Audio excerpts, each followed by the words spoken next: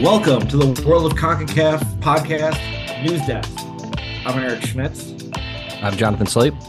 And I'm Donald Wine. and we are back finally. It's it's been a minute.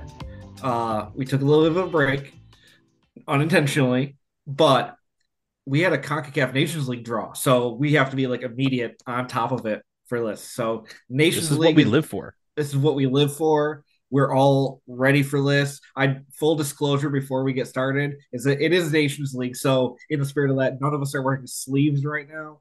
Uh, we, we are in full uniform for the CONCACAF Nations League. I was going to say, like, we're ready for CONCACAF Nations League, but I don't know if CONCACAF is ready. Um, They were not considering ready. the things that took place during the draw, the fact that it is only, you know, we are almost two hours post draw, and they just put up an article that the draw even happened. Um, and then we're going to get into what other wild things we have no idea about. Can we can we just start? But I, I I know we have a rundown, but can we just start with just how the draw took place in in some of the the Yes. issues I will say that we had. So Yeah. you know, I, I know Eric, you were you were rushing home from work, but you were following along. Uh, Jonathan and I were were watching on our various TVs and, and devices, and I will tell you, for the first 19 minutes of the draw, you could see what was going on, but you couldn't hear anything because there was no audio in Paramount Plus. And like it was to the point where I thought I was crazy. I was checking my TV, like checking other channels. I checked my phone. I checked it on my computer. I even um, I almost broke out my laptop before like I wisened up and said, "It's not you. It's it's them." Uh, so uh, finally, after 19 minutes, they pulled the feed, put it back on, still with no audio. Then they pulled it off and put the audio on there, but no video. Then they pulled it again, and then finally they were able to get it right. I don't even know if it was synced, like you know, because sometimes on Paramount Plus, like the the lips don't match the uh what what they're saying. But at that point, I didn't care. We finally had it. It took 19 minutes, but finally it was hope just in time for the actual pulling of the ping pong balls. Yeah. I mean, it is CONCACAF Nations League, and we always say that Nations League it really is the essence of CONCACAF. So staying on brand is very important. So the draws happened. Let's kind of run through it. This is, of course, for the 2023 24 edition of the Nations League, the third edition of the greatest competition in global sport. Um, because it is CONCACAF and it is a centerpiece competition, we are in the third edition and have a massive format change already. Um, so just to review that, because I know we have talked about in the podcast before, uh, your top four teams in CONCACAF, uh, your Mexico, United States, Costa Rica, and Canada, they're all getting a bye to the brand new quarterfinal round, which there had been no quarterfinals previously. They're getting a bye. They're moving teams up to League A, didn't relegate anybody to League B. League B got four teams from League C, and League C is just smaller for these next two editions. Uh, so no relegation after this not yet completed 22 23 edition. Um, but yeah, now we have a draw for the next edition. So let's run through the leagues, just go through the groups in each league and what sticks out to us. So Jonathan, why don't you start uh, start us off with League C, which is truly like the most CONCACAF of all the leagues. Uh, yeah, I was gonna I was gonna call League C the most important, or like actually let's say the most fun league Yeah. of Concacaf Yeah. Nations. The most ideal. the ideal. most ideal. Um, the league I would like the U.S. to get relegated to. Um, so League C in Group A we have Bonaire, Saint Martin of the French variety, uh, Anguilla. In Group B we have Aruba, the Cayman Islands, and the U.S. Virgin Islands. And then in Group C we have Dominica, Turks and Caicos, and the British Virgin Islands. Now, we got some small groups, very even groups. If you look at the CONCACAF rankings, um, Donald, is there anything you see here that you're looking forward to? Yeah, well, Eric, you and I went to uh there's a rematch uh, of a match that we went to uh Cayman Mhm. Islands and US Virgin Islands. I think this time around we have to figure out how to get to the US Virgin Islands to see the re- the return leg uh of this. But yeah, I'm looking forward to that. yeah. Cayman Islands, U.S. Virgin Islands, throw out the record books.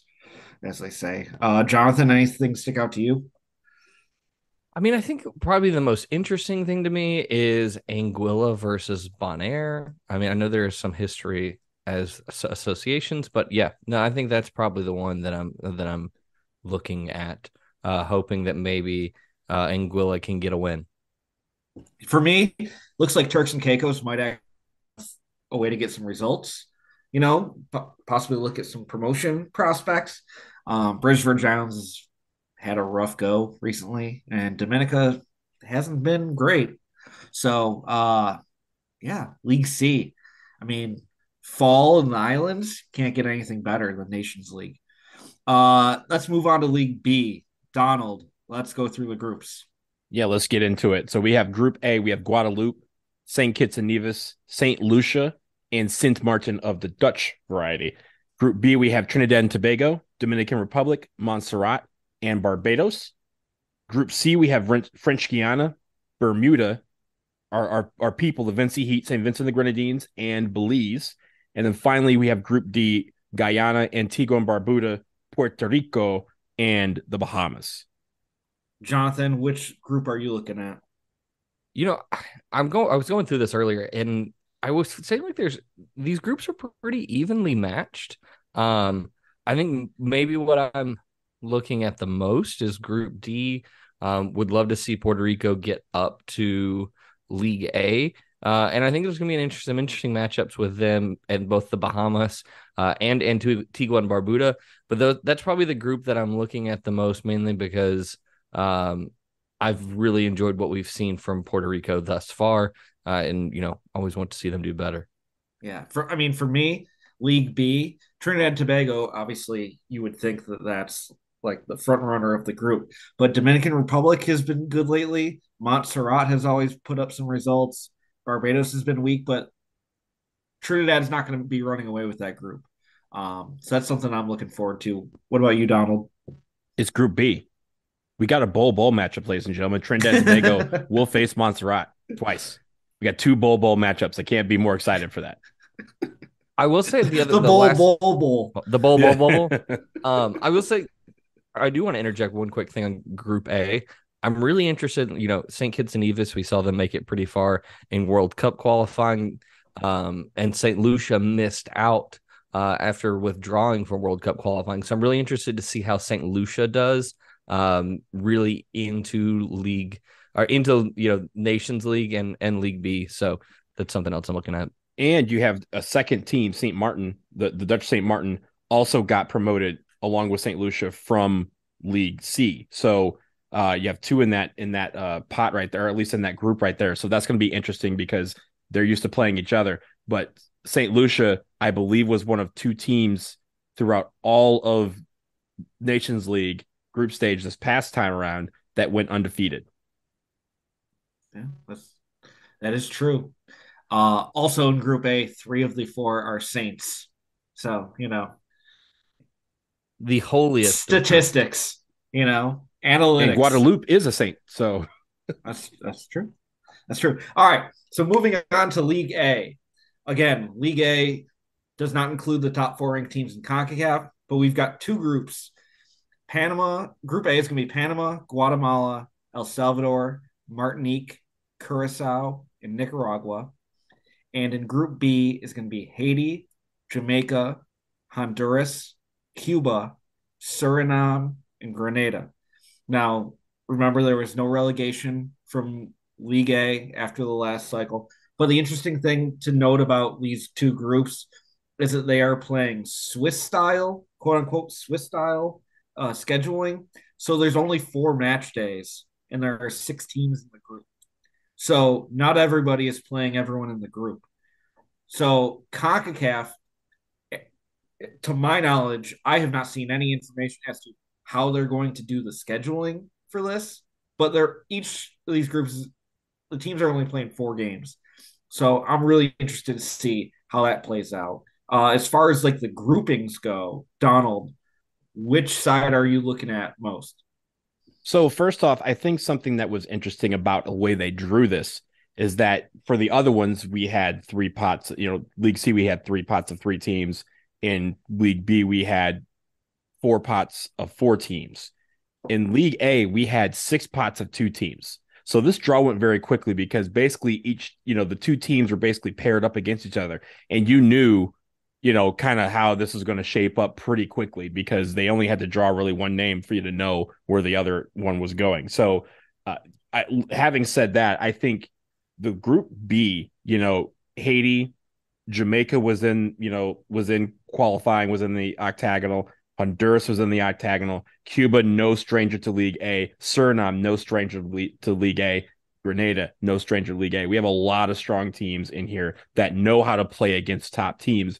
And I think the the real, you know, crux of this is, you know, two of these teams are going to make it to the Nations League quarterfinals, and one of these teams is going to get relegated and one of these teams may get relegated without playing the team that's directly above them. I think that might there might be some cruel uh cruelness at the end of this because there may be either some team missing out on the Nations League playoffs or some team getting relegated without having a full say in the matter because of the Swiss style where they don't get to play everybody in the group.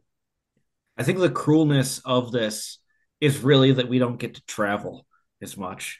Yes for this. I mean, yeah, that's that's most definitely the the cruelness of it all. I will say, like, I'm I think I've gone on record multiple times on this podcast of how much I want to go to Curacao. Um, and it's so, on wax. Yeah, it's uh, I may or may not have already looked at reserving hotels in in November, um, which is getting ahead of myself. Um, but definitely, I think Group B has the opportunity for the most interesting game. You know, we've gone to Jamaica plenty of times, but Haiti, Cuba, Suriname, um, you know, Honduras. I wouldn't hate another trip back to Grenada, even though we just went. Um, and so that's what I'm lo- that's what I'm looking for the most. Um, is out of Group B, who comes out of it, and I mean, like you like you've all said, who are we? Who is even playing each other? Yeah, um, and I think the scheduling is really going to play into it more in Group A. I mean, El Salvador has historically been pretty good at getting results, but these are all fairly even teams. Like, is is El Salvador going to be getting Panama or in Curacao at home? Is is that the draw they get? Are they going to have to go on the road to play any of these tough games? Um, I'm just curious as to see how the pairings work out because I think Group A is definitely where you actually might get a little bit of movement, some shocks, because uh, I think these are all games that are going to be tight games. Um, even Nicaragua has been playing better of late.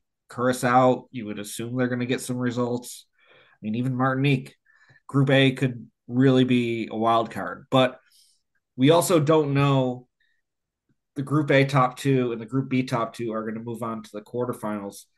We have no idea how they're getting seeded into the quarterfinals. Like, well, in we, all, in all, we know releases, the seeds. We know the seeds, right? We so know we the know... top four seeds. We know right. the top four seeds have already been set, but we don't mm-hmm. know how the group, the League A teams that advance. We have no idea how they're going to be seeded in. Mm-hmm. Is it going to be by ranking? Is it going to be by finish? Is it going to be by finish within the groups or is it finish overall? Is it CONCACAF no, I... rankings? Is it FIFA rankings? We've like, I, I spent about drawing 30 lots. minutes. I spent yeah. about 30 minutes combing through like all of the press releases and documents and, and, and any of that from CONCACAF. But, um, I think they're very much of the opinion, uh, they can't hold you to it if you don't put it in writing. Yeah. I, I mean, maybe the CONCACAF officials are planning on just going to the roulette table and seeing what comes up, and that's be how they set the rankings. Um, I, don't know, but this is one of the things, you know, it's CONCACAF. Of course, they don't have everything set up. They even if they did have it set up, they might change their minds between now and November. CONCACAF always reminds me of whose line is it anyway. the rules are made up and the points don't matter. Yeah, no, Calvin. That Ball. is the this score is, is why, into twelve. Yeah, this is why we do the podcast. We try to explain the inexplicable. You know. Um. So yeah, Nations League. Again, the 22-23 edition about to wrap up next month in Vegas. We are inside one month from the semifinals. I can't wait. it's going to be a great week in the desert, you know, roaming around the strip, watching soccer, hanging out in the pool. Vibe. The vibes will be dry and hot. So, bling bling. all right. So that's enough Nations League. We do have other stuff going around going on around CONCACAF that we want to talk about since we're here at the news desk and we haven't really had a podcast in a month and a half. Um, thanks to everyone for sticking with us. Thank you especially to our patrons who we didn't thank at the top of the podcast. Uh, again, patreon.com slash podcacaf.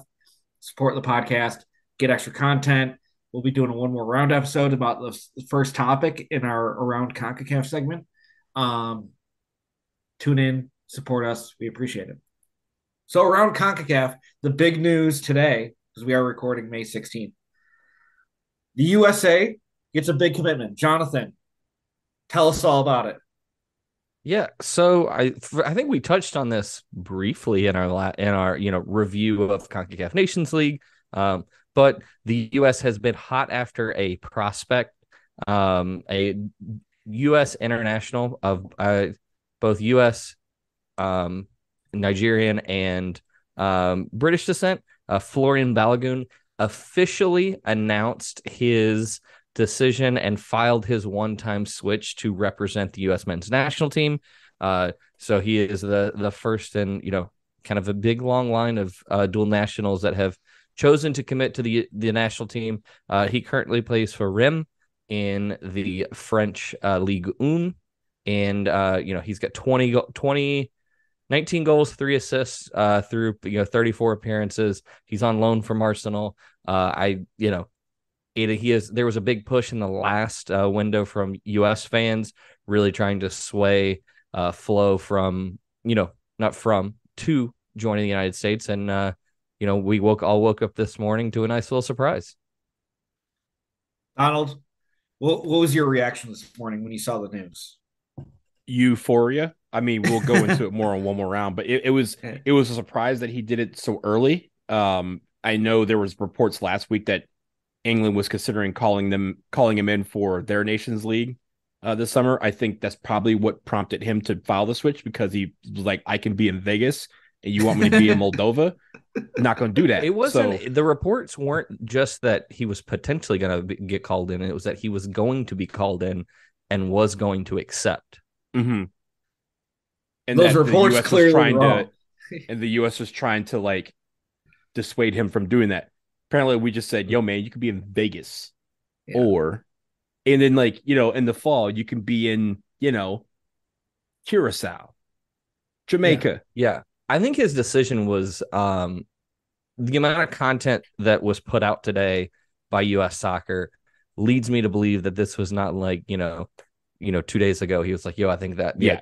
like when those when those reports were getting floated last week, I think it was pretty like from what we've seen and all the content that's been like that was done. Like he had already filed yeah. the switch. I think the, the most... switch was approved on uh the switch was approved today. He filed it last week. Yeah, yeah. I'm just more surprised that that stayed quiet.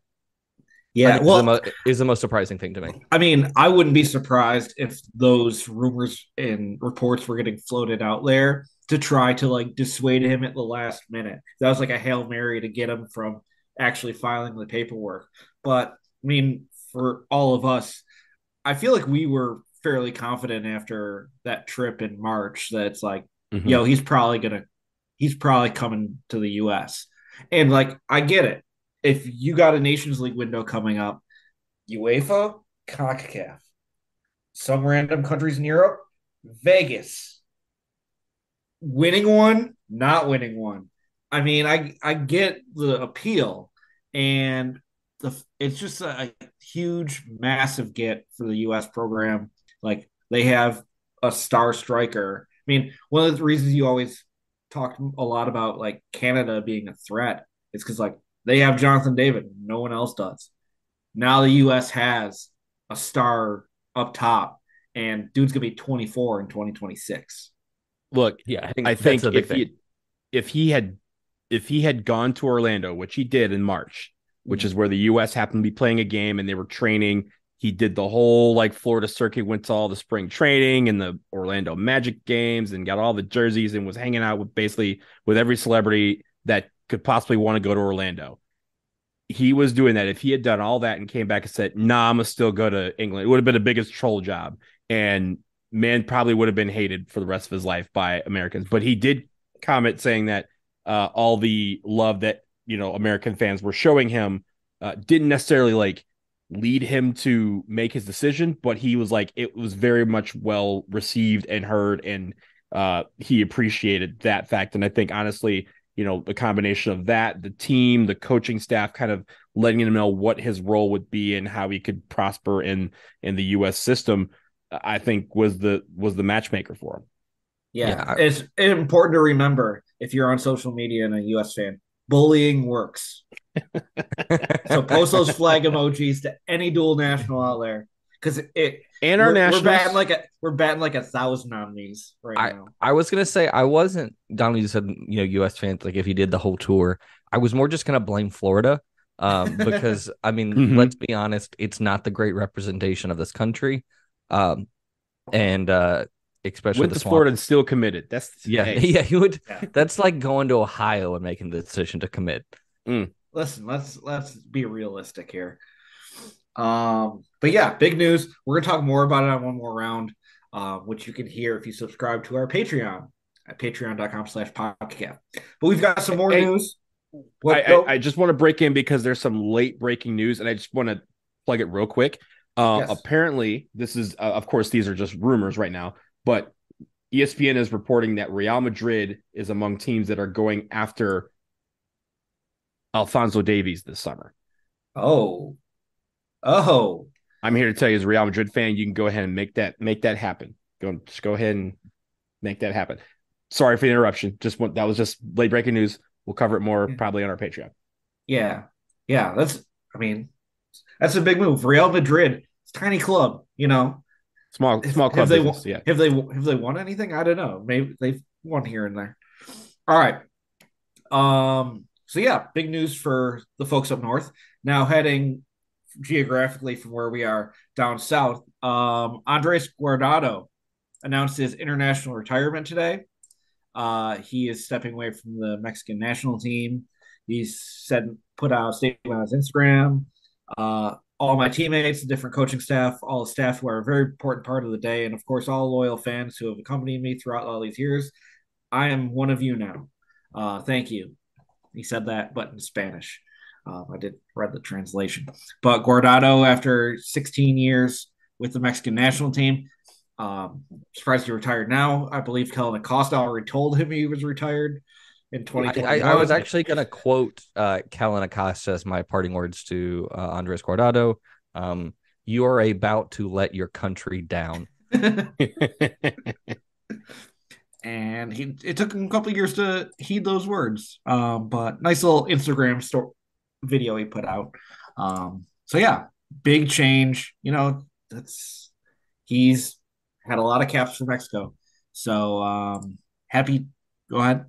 I will say, just from an objective standpoint, you know, Andres Guardado, one of the you know great players that Concacaf has seen in a long time. Like just you know the All longevity and Concacaf. Yeah, yeah, and what he's what he's done uh, for Mexico. I know Mexico fans like he he's going to be a legend there forever. Uh, my U.S. sense says, "Boy, bye." Yeah, I mean, you you did bring it up. I might as well like give him the credit where credit's due. Guardado yeah. played 181 games, a Mexican record. Uh, scored 28 international goals from 2005 to 2022. He won three Gold Cup titles uh, and a CONCACAF Cup in 2015. He was the CONCACAF Gold Cup Golden Ball winner in 2015 and was member of the CONCACAF Best 11 in 15, 16, and 18. So, and that 181 caps, I think, is like top five all time for men for male players. Like, yeah, for national team. That is an absurd number for mm-hmm. men's national teams. One of just a few players to have ever played in five World Cups as well. Yeah. So, heck of a career for uh, Andres Guardado, who is no long sick of losing nations leagues to the U.S. Understandable. And he retired just in time to not have to lose another one. Exactly. He's like, I ain't playing in a third place game. Um, all right. So moving on, one of the things we talk about a lot on this podcast is kits. So Donald, we've got a new kit out there. Uh, who's who's looking sharp now? Well, this team is Cuba, and they actually have three kits. They released a home, an away, and a third. And let me tell you, uh, this is a big come up, a big, big come up for Cuba. Their their uh, Joma uh, is their sponsor, uh, or at least their their kit supplier. Uh, and I'll describe them very quickly for people. Obviously, we'll post links where where you can see them. I think you've already done that uh, oh, yeah. on Twitter. Uh, but they have a jersey that is a navy blue with a white stripe in the middle and then a red bottom. For American fans, it looks sort of similar to the Bomb Pop jersey. You'll get it's those vibes when you see it. Yeah, it's like a slim, slimmer version uh, of the of the Bomb Pop. There's a white jersey that kind of has a, a, stripe going across the uh, the top there, and it's in blue, in navy and red. And then there's a third jersey that is uh that is red. I'm sorry, that is navy, and then it kind of has like white going down the side. So very very cool. Um, th- they look great, and also their their new crest. I think I think that's new. I, I think I don't think we've covered that, but that that crest either is new or very very recent. It looks very sharp on these jerseys. Yeah, it does. I I mean, my only takeaway is it does look a little bit like the Wish.com version of US jerseys um, especially the uh, the the pseudo bomb pop, but far and away better than um, anything we've seen from Concacaf. And again, it's always good to see these smaller uh, kit manufacturers getting involved because it provides a lot more creativity, and these teams are getting a lot more uh, design focus rather than just a templated, you know, piece of uh, you know athletic apparel off the line. The aesthetics of CONCACAF are just trending up constantly, and it's uh, good to see Cuba looking good. And also, uh, finally, as as we've said on the show many times, uh, if you have a jersey and you think we won't critique it, DM us at Podcacaf. Send us one. I'm a two X. Uh, Schmitz is an extra XL. medium, and and, and Slape is is an XL. Lots of X's involved. So you can just send those to us, and and if you don't think we will wear your jersey, even though it has sleeves, we will wear it even if it has sleeves. So yeah. uh, go ahead and send them to us. Yeah, they're tight fitting. I'll I'll go large, um, but yeah, kind of medium large, like a. That's why I said extra medium. Yeah, extra medium is like small. No, extra know. medium is extra like large than extra large, medium than extra medium. You're thinking of a schmedium, which you are not. You are not schmedium. Yeah. I am certainly back in the day I was not not anymore. Um, all right, so we got some new kits. Also have a new manager, uh, Grenada, the Spice Boys. We still got to do our Grenada episode, guys. We got still got to get that. But Grenada, new senior men's national team head coach, uh, Terry Connor, uh, former uh, Wolverhampton man uh, from England. He doesn't really have any history playing in Grenada, but Grenada picks him up uh, played many years in England, had one cap with the England U21s. His coaching career, I do have to point this out. He has been a manager. He was manager for Wolverhampton in 2012 as an interim. He managed the team for 13 games. He had zero wins, four draws, and nine losses. So Terry Connor, coming into Grenada, has never won a game as a manager yet. Um, obviously, Grenada, League A in Nations League ahead. They've got a lot of potential, um, but new manager. Guys, what do you feel about these types of managers that don't really have a lot of national team experience, but they're almost a name? Do you feel like that is more beneficial or having more experienced people? I think for some of these con- countries, like especially some of the smaller nations, having the name is not as much like I think it helps with some recruitment of dual nationals, especially with what we know about like with the Caribbean having such ties to, you know, especially England, but like European soccer in general, there being so many people over there that, you know, are dual citizens. I think it plays a huge role and is hugely beneficial um, to have a name that's then able to help recruit and build the program. I think for me, it's not necessarily a general, you know, one way or the other. I think there's it's a mixed bag when it comes to the results that come from this. But I will say this: having you know like a former you know national team legend or a local club legend take over is about drumming up excitement in your fan base. And I think for some of these teams in some of these you know nations, it's not necessarily about hey getting the best guy with the best experience. It's about seeing it one testing out somebody who can maybe improve in their stature as a coach and kind of learn on the job.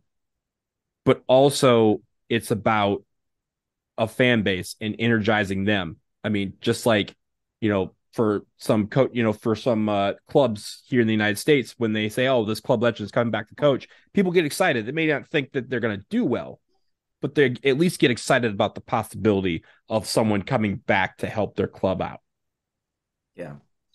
So Terry Connor taking over from interim coach Anthony Modeste, who's going to be moving to an assistant job, and Grenada, of course, preparing for Gold Cup prelims against they take on Guyana on June 17th. Uh, last thing we want to get to, and I think it's important to mention because you know we don't just cover the men's side, we cover the women's side. Uh, Concacaf W Gold Cup qualifying is going to be starting soon actually, if you're listening to this podcast on the day it's released, uh, May 17th, the draw is May 17th for the CONCACAF W Gold Cup qualification. Um, they had announced the groups for the draw previously, and last week, CONCACAF came out and announced, oh, by the way, Cuba, St. Lucia, and Bonaire will also participate. So those three countries will be slotted into League C and will be included in the draw to set the groups for this competition. Uh, that actually takes the total of teams who are participating up to 33, um, which is great. It's not all of CONCACAF, but we've talked in a lot of our laser focuses about how not every country is participating or putting focus on their women's program. We've got 33 nations, which doesn't even include the United States participating in this competition. Yeah, I like it. Um, it, I don't think it includes Canada either, right? Or is Canada involved in this? Uh, it um, depends on Jamaica. It it depends on the Olympic play-in loser. Right, uh, right. Yeah, so the teams that have already qualified will not be participating in this. So the U.S. is already through, mm-hmm. um, and whichever team loses that Olympic play-in is going to be in League A.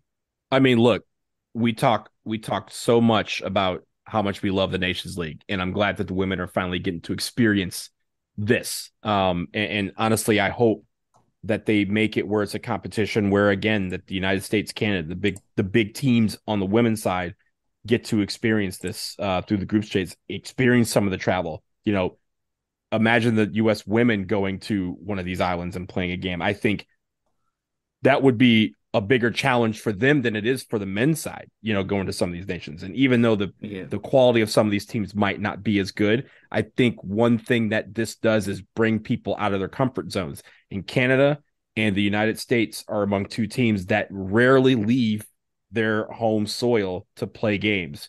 And I think this would be a competition that would be well suited to get them out of their comfort zone and learn that, hey, you're not going to win every World Cup in the United States. You're going to win World Cups sometimes by playing in Jamaica at the office or playing in Costa Rica or you know again some of these help energize also bring some energy to some of these teams that they're playing as well get people packed into stadiums and and honestly the women deserve to travel the world too and get to see yeah. some of these cool sites for sure yeah i was going to say i think there are a few like you know there's a lot of excitement like when the us goes to the men's team goes to play some of these you know smaller nations but like I don't think we've seen the type of excitement you would see even in a place like Jamaica you know, or like some of the bigger countries if the US women showed up to play a game.